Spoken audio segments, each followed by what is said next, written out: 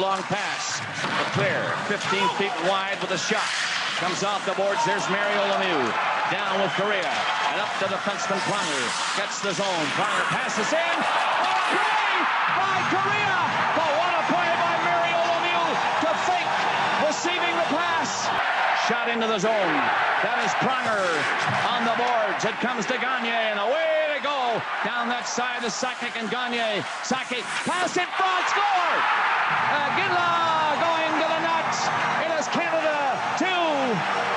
USA 1.